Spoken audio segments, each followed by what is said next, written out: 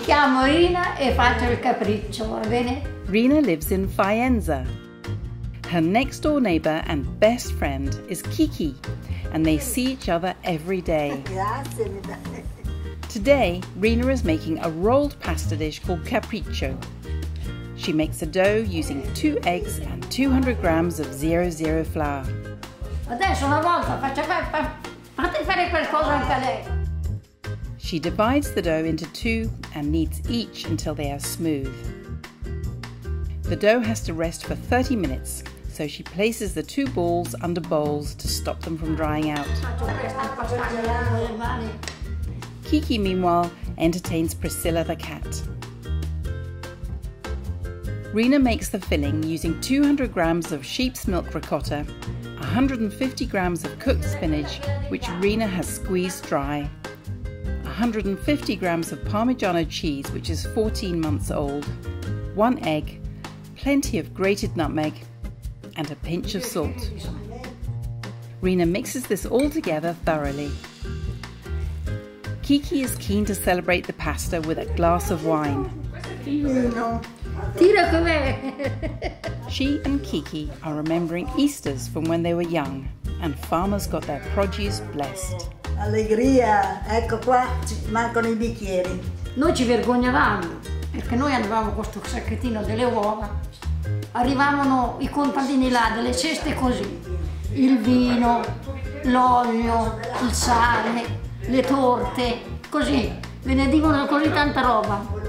E noi avevamo il sacchettino delle uova, perché essendo di qua non, non- si usava. Rena has an unusual way of making a bechamel sauce.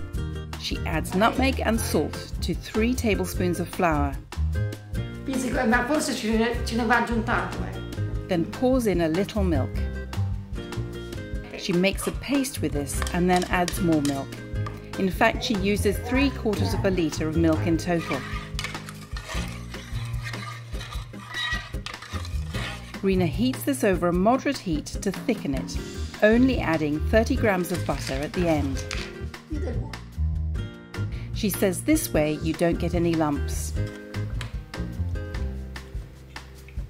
Ha fatto?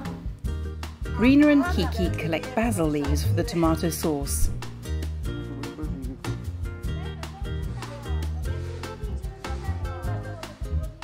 Rina says shred, don't slice basil for better flavour. This is extra virgin olive oil. Io li lavo a mano. Rina uses tinned tomatoes as it's too early for good quality fresh ones. She buys whole ones to slice up as they are better quality than ready chopped tomatoes. She simmers them with the oil and basil without any garlic or onion. Io salo poco, vero Cicchi? Per te che salo poco. Rina rolls out one pasta ball into a perfect circle.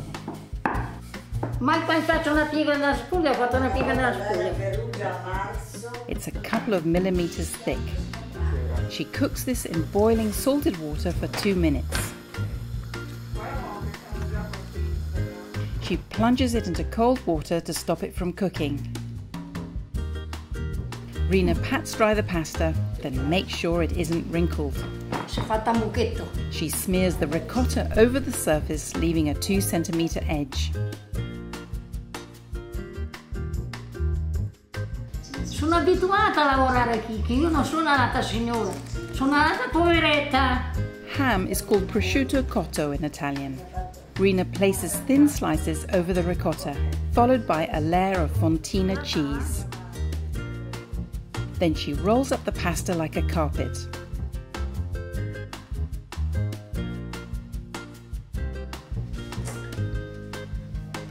Rina spoons a layer of bechamel sauce into the bottom of a 30 by 20 centimeter tray. She sprinkles over some grated Parmigiano. Then she makes two centimeter thick slices of the pasta. Si era presi i delle donne che... She places these in a single layer in the tray, making sure they're a snug fit. Mettiamo qui, vedi eh. che... Hai visto che è venuta piena? Poi la besciamella. Rina spoons over some bechamel sauce, Non mi hai visto? more Parmigiano cheese, and then lastly dots blobs of the tomato sauce. She doesn't want to completely cover the surface with the tomato. She bakes this in a hot oven for 20 minutes. Ale, ciao. 20 minuti.